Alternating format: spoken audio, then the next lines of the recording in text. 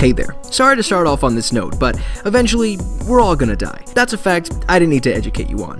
Humans have tried to predict when the world will all go kaplawi for centuries now. Luckily, our track record isn't the best. Let's start with 634 BCE. Many Romans were afraid that their city would be destroyed in the 120th year of its founding. A popular myth was that 12 eagles had revealed a mystical number representing the lifetime of Rome to Romulus, founder of Rome. Some early Romans figured that each eagle represented 10 years. This is probably the coolest prediction, but I'm glad it didn't come true because we get this other apocalyptic gem Y2K. January 1st, year 2000.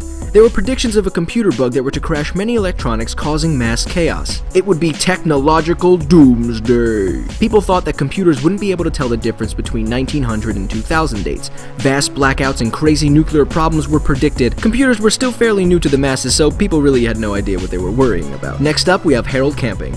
An American Christian radio broadcaster, author, and evangelist issued multiple failed predictions for the end of the world. He predicted that Jesus would return to the earth on May 21, 2011, and bring on the rapture. Dun dun dun. He was wrong. He actually spent almost all of his money on advertising to spread the word. The doomsday prediction was five months of hell, plagues, fire, death, blah blah blah. It would all end on October 21st, 2011, with the actual end of the world. But that obviously didn't happen. Which brings us to the next one the Mayan 2012 calendar. December 21st, 2012 was supposed to be the end of the world.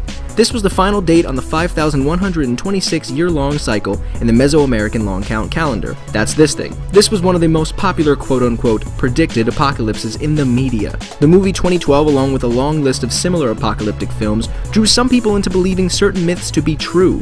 Crazy, huh? What about the future? Well, we've been really lucky so far. Thanks to modern medicine and advancements in technology, we'll be okay. Hopefully.